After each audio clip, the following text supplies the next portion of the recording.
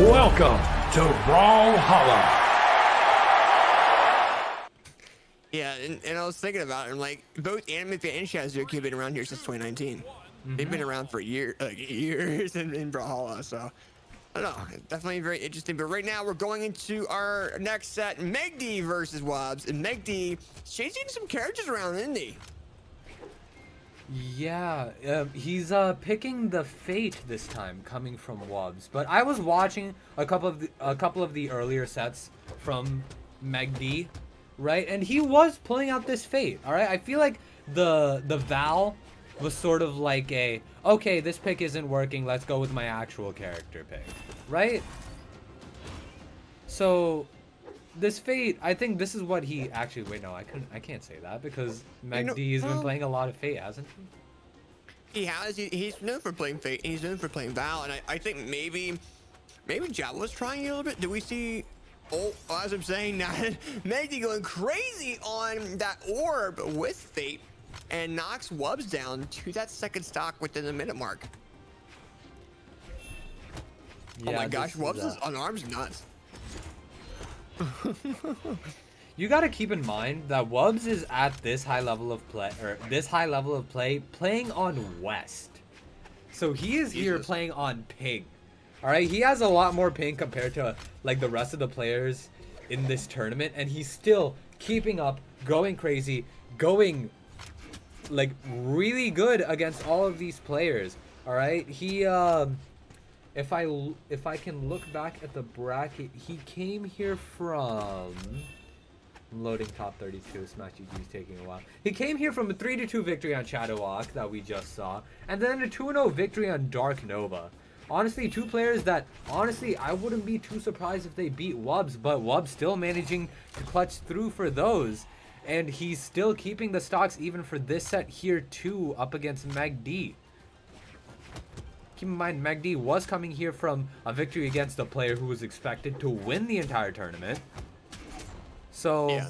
this is really good coming from Wubz. This is seed 1 versus seed 6.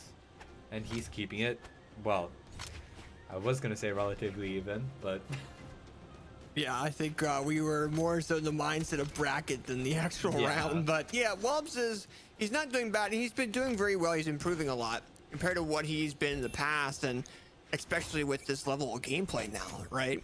So Megd is doing pretty decently against Wubz, but Wubz is pretty doing pretty decently, especially well, I mean in the previous matches that we had him on stream, right? He didn't do very well with that character, right? The Ember, and and it's because of the defense on it, and Megd's is taking advantage of it with that uh with that Fate, and Fate has a lot of damage uh build up with it too.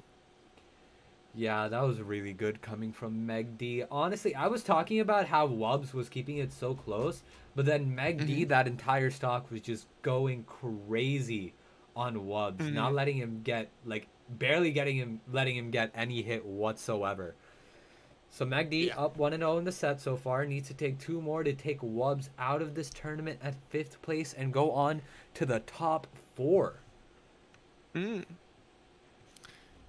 Yeah, absolutely. And uh, right now we're going into What? uh, this matchup with Wubz on Artemis.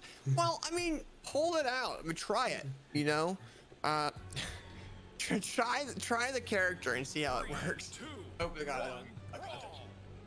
Um, but right now, I mean, we're on we're on uh, on pass here, and right now, I mean, Megd's Megd's been doing really good with that scythe. and I think Wubz wants to try his his input on it, which is why they did the Artemis. But also, that Lance range goes crazy in this matchup, and maybe he's trying to use it to its full potential here. Yeah, Wubz is doing pretty good with this Lance pick on Megd. Wait, does Megd have... He does have a recovery. I wasn't sure there because he used his dodge, but the Sair coming out from Wubz, was that that Lance tech on side of the stage where it comes out like much quicker? Cider. Yeah. Yeah. Wow, I think that was like one of the first times I saw that on a Galaxy Cup, which is crazy. well, I mean, if you got the tech, you got to use it, right? Yeah, of course. Use what you what you have, and Wubz is definitely doing that. And Megd, Megd's being way more aggressive as a player against Wubz, which is surprising to me. I think he feels a lot more comfortable approaching Wubz. And this side goes, goes and shows that with and knocks out Wubz' very first stock. But yeah, I don't know. I think with the fate with with Meg D, it shows his aggression as a player more so than when he's playing Val. He's kind of baiting attacks more than anything. Yeah, honestly, let's see how he does. All right, the stock has been pretty even. Two stocks on each side. Nice there coming out from Wubz, trying to go for the recovery. This Lance from Wubz has been doing a lot of work onto Megdi. And if I'm not mistaken, if Wubz, uh, if Wubz wins this game with the Artemis, that would be the fourth game that Megdi lost to an Artemis. He lost to AO Blue and Winterside with his Artemis. So, uh... Oh, that's true.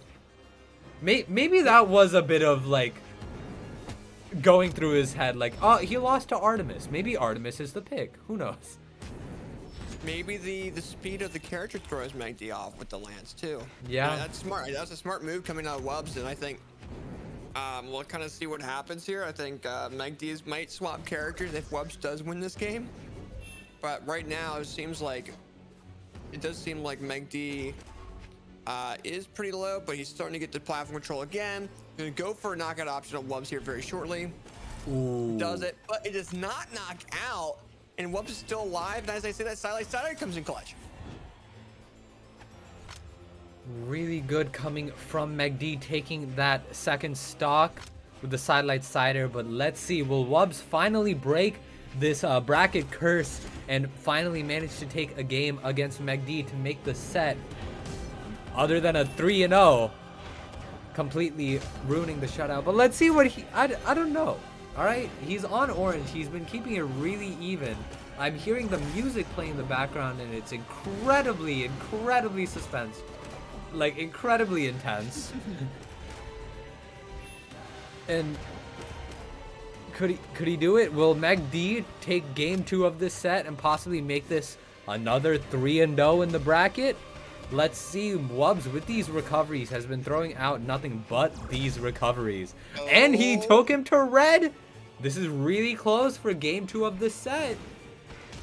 Oh, Magdi getting launched into the air. Wubz right now with that scythe. Tries to get the credit, gets a neutral signature, but Magdi says no. Picks up orb, and I'm expecting some type of signature knockout.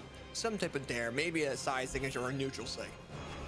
I would throw, swaps over the side, picks up orb, orb again. We see it here.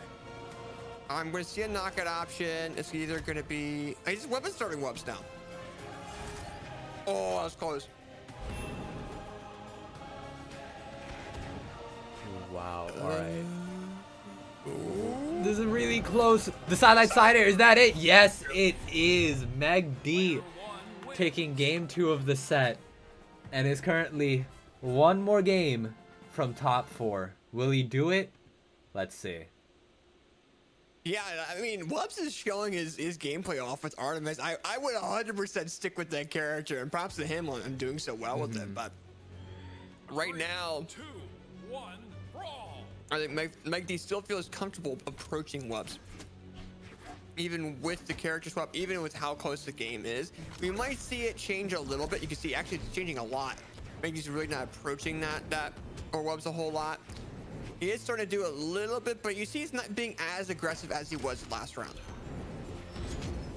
Yeah, he with this lance, he's been doing, uh, he's been dealing quite a bit of damage onto Megd. Nice recovery, trying to go for a second one there, but Megd forcing him off stage, going for a pretty ballsy play there with the GC sidelight, but managing to catch Wubz with that ground pound.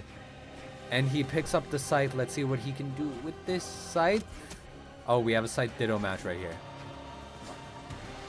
Oh yeah, and right now I think Meg D is getting smacked by Wubz here a little bit, but Meg D, I, I would say,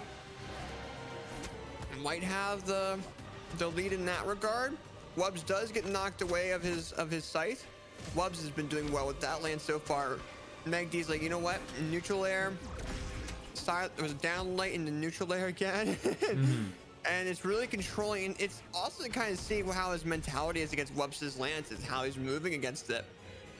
But Wubz either way does land that neutral air, and it's so incredibly fast. Megdi was unable to really counter that And right now, uh, it is two stocks all, but still Megdi with that orb signature, launching Wubz into the red, and Megdi almost has an entire stock lead over Wubz right now.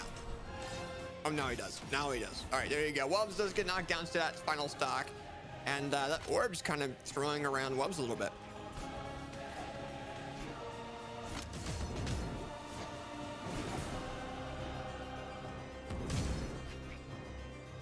But yeah, right now I think we um, we're seeing Meg D trying to take that neutral control, trying to make sure you can try to bait Wubz uh, into attacking.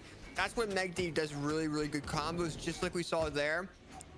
And it catches Wubz onto a wrong, the wrong side of the, the mindset that he wants to be in, because it's more so like trying to save. Like you're, he's a lot of players when you're knocked into that type of situation where players being extremely aggressive, it's more of a survival mentality than anything. Just seeing Wubz trying to come back there, that's where Meg D wants Wubz to be. And Wubz like, you know what? No. What? Coming with that. But I've never seen that land. what the heck just happened there? That was smart from Wubz what? To do a GC side sync to come back on stage because he could tell Megdi was gonna go low to try and get that kill, but this is still not looking good for Oh, Wubz. what? Oh my gosh, Megdi gets this knockout. Wubz will probably never stop talking about it. Mm-hmm. that's I it. wouldn't either, because Megdi does go in with the 3 and 0 over Wubz. And I don't know, that just looked like it should have knocked out, but I just didn't, unfortunately. But very props there to, to Megdi. Advancing further in the bracket, beating both of his hypnotic uh, his hypnotic clan members there, beating Java, now beating Wubz 3 0.